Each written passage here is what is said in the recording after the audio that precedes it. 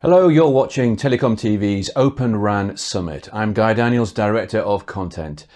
The RAN Intelligent Controller, or RIC, will be at the heart of any significant Open RAN deployment. It's the operating system running multiple applications that underpins the Open RAN promise. But how should network operators think about the deployment and use of both the near real-time RIC and the non-real-time RIC with their respective XApps and RApps?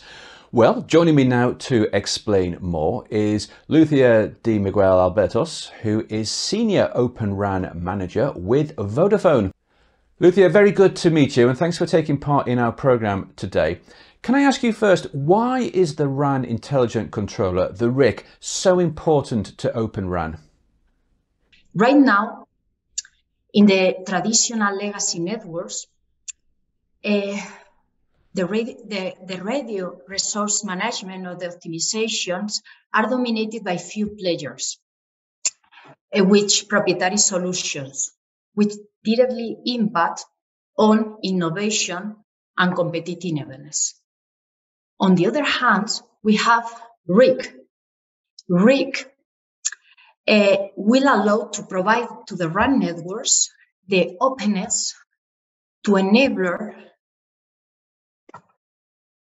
a wide multi-vendor or ecosystem of applications that will implement basic and novel operations, but also a very wide industry disruptive cases, uh, including business to business user case.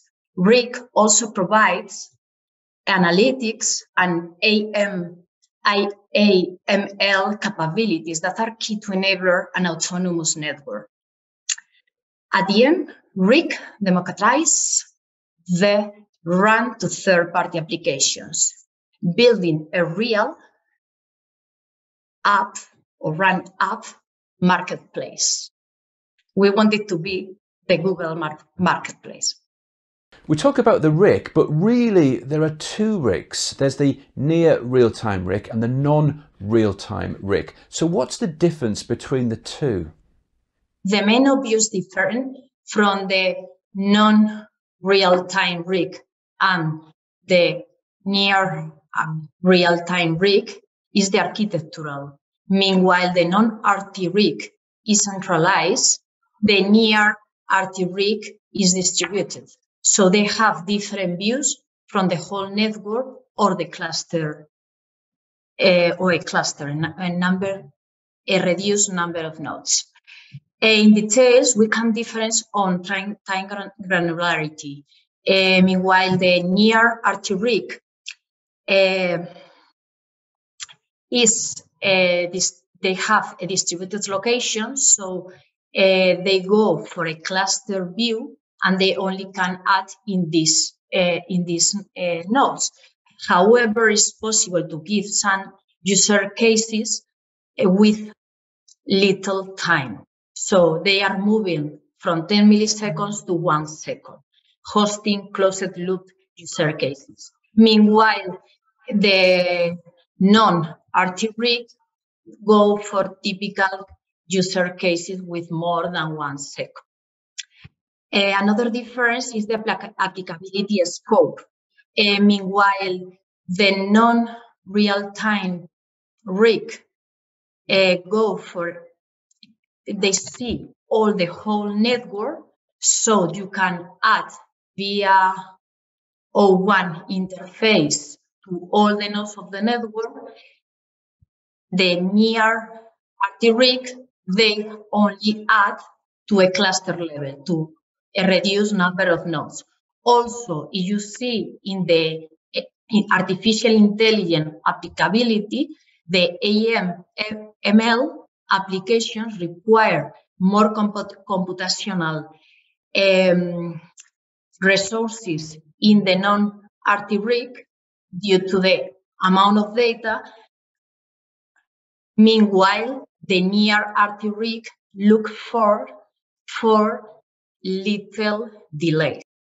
You spoke about the desire to create a marketplace here. So how far advanced is the RIC ecosystem in terms of its development?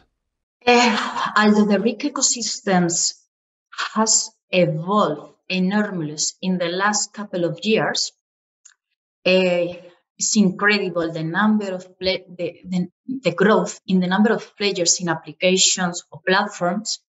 It's a truth that the standards are not so mature, impacting directly that you are not able to scalable to commercial deployments yet. Anyway, Vodafone is fully supported to improve this standardization in the O-RAN Alliance, contributed to the different working groups uh, to define these open interfaces. From the point of view uh, of Vodafone, and even this is the reason of this interview, is very motivated uh, to see that the RIC is becoming a global trend where more and more players wanted to participate and to create it, user cases, applications, platforms. What's your advice to operators? What should they look for when sourcing RIC platforms? What are the key differentiators?